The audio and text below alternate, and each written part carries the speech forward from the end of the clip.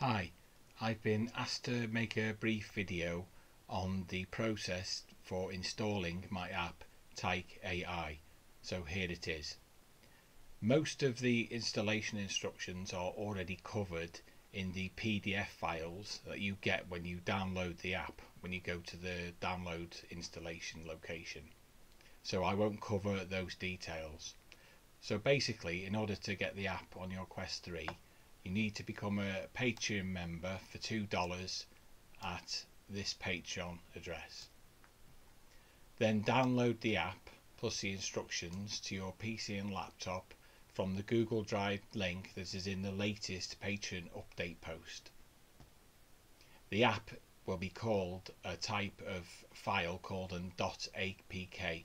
So if I call it an APK, you know I'm referring to the actual app file itself. Then once you've downloaded the app plus the instructions and which are things to do before starting Tyke AI PDF and Tyke AI instructions.pdf you need to open the things to do before starting Tyke AI PDF which is this file. This gives you instructions on how to use an application called SideQuest to install Tyke AI you do need this application to install the app plus a PC or laptop. Full instructions on how to install SideQuest and use it to install my app are in a video linked here.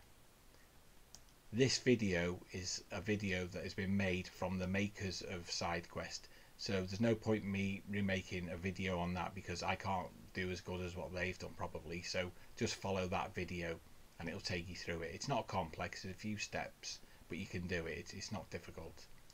Then once you've installed SideQuest, follow these instructions to install the APK on your Quest 3.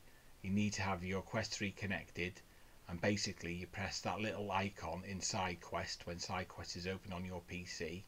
It'll browse to your application, to the Tyke application, the APK, and install it on your Quest 3. It's quite straightforward. Then once it's installed on your Quest 3, go to unknown sources on in your Quest 3, which is just in where your apps are listed. All unknown sources are are apps and meta apps basically. So they're listed in unknown sources.